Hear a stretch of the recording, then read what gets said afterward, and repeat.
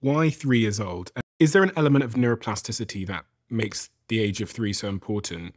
And the other kind of sub question I was trying to figure out in my head was Is the damage we do before three years old to a child inadvertently at all reversible? For plasticity, there are certain what we call critical periods of right or social emotional brain development. One is zero to three, and it's the most important because what's happening is something called neurogenesis. So it's the growth of cells. And your presence as a parent who provides safety and security, buffers your child from stress, regulates their emotions, is critical to them growing that right brain because 85% of their right brain is developed by three. Crazy, right? 85%. And you being there changes the architecture of that brain. That's how important you are. Like people come up to me in cocktail parties and they'll say to me, Ah, I don't have to be there. My baby's just sleeping and pooping and, you know, they don't need me. I'm going to be around when they're talking and walking.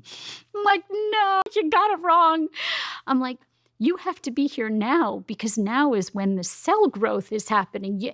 Every time a baby snuggles and takes the breast and looks at you with their eyes and you sing to them, thousands, millions of synapses are firing.